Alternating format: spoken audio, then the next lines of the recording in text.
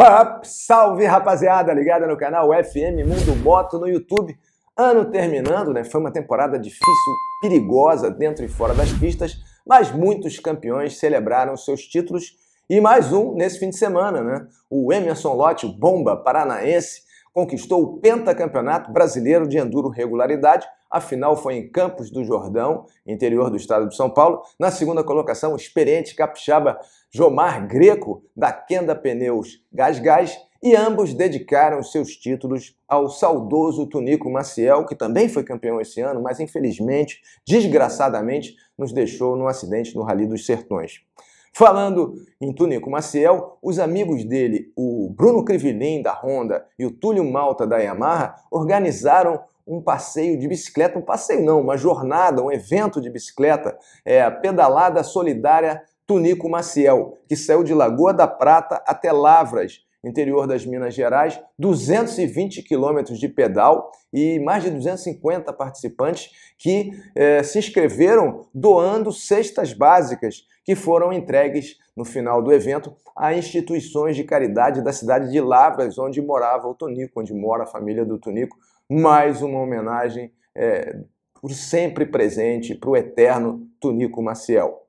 Já em Cuiabá, capital do Mato Grosso, tivemos a quarta etapa de dois campeonatos, né? o Herbs e o Bites. O Herbs é o Hard Enduro Brasil Series e o Bites é o Big Trail Enduro Series. O, o é para motos específicas de enduro e o Bites para aquelas motos grandes, né? BMW, KTM, motos é, de grande cilindrada, Honda também, é, disputando competições nas trilhas, né? duas voltas e o campeonato ainda não foi definido e não será esse ano por conta de um atraso no calendário, claro, devido à pandemia. Isso vai acontecer em janeiro de 2021. Boa sorte a todos os competidores, parabéns pela participação em mais essa modalidade que vem se somar às muitas que já temos em prática aqui no Brasil.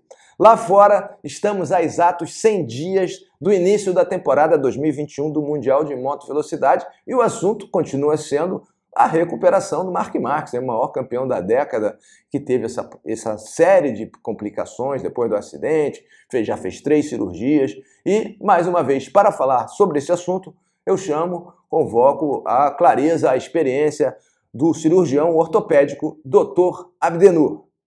Assim, Fausto, o cara, quando colhe o material, o certo, ele colher mais ou menos uns 5 a 7 fragmentos ósseos, né? Eu não sei se foi feito isso, assim como a gente não sabe qual foi a técnica que foi utilizada. Né? A gente sabe que a cirurgia foi muito grande, é, teve enxerto, enxertos extras, né? Uh, o que seria um grande problema para uma nova, nova cirurgia, né? Porque ia ter que abrir o braço de novo, desvascularizar de novo. Então, provavelmente devia, devia ser uma bactéria um pouco mais simples. E eles vão apostar que com antibiótico vai fazer a consolidação. No caso dele, pensando que ele funciona aí mais 15 anos, 20 anos, né? Uh, no futuro a gente não tem a bola de cristal, pode também não acontecer nada com o braço dele. Tá ok, vai, vai colar, ok. Se no futuro pintar uma osteomielite aí, resolve. Também pode não acontecer nada, Fausto. Então, é, acho que ele volta, assim, para pilotar.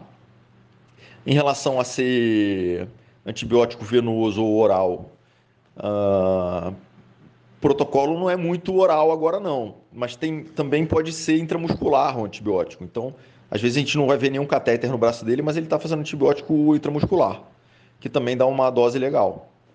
Então, assim, a opção deles foi, foi apostar de que aquela bactéria vai ser curada com antibiótico, ponto. E resolveram não mexer para não ser um quarto trauma. No fundo, eu acho que por ser quem é quem, quem tem que voltar logo, e não sendo uma coisa tão grave, assim, com pus e drenando muita coisa, eu acho que o raciocínio ok.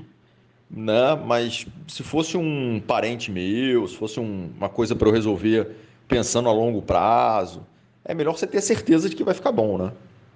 Então, ele não, ele a gente só precisa que consolide e volte a andar de moto. Ponto. Né? E depois, se acontecer alguma coisa, parar de novo.